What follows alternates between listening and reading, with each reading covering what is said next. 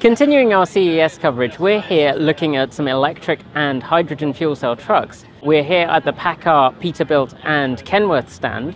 Behind me is a Class 8 electric truck. This truck has a 308 kilowatt hour battery pack and has a power output of up to 320 kilowatts.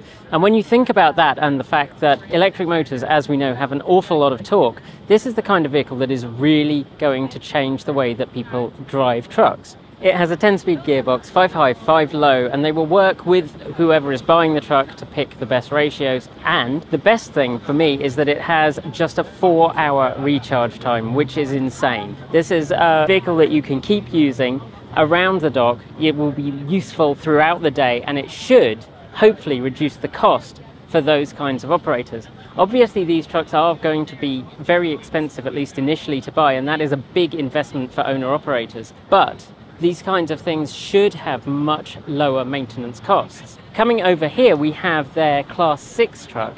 The 220 EV is the Class 6 vehicle, and that has around 140 kilowatt hours of battery storage on board. The batteries are located between the chassis rails, which is great. It provides lots of extra protection to them, but also means they can be easily serviced if they need to just by dropping them from the bottom of the vehicle.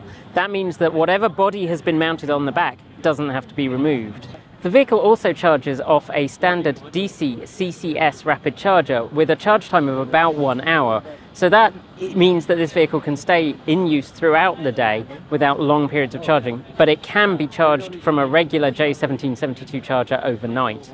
Up at the front, the vehicle is pretty much the same as a standard regular diesel truck. That means that it should reduce the costs to people needing to service these as their mechanics will already be familiar with the equipment underneath the front end.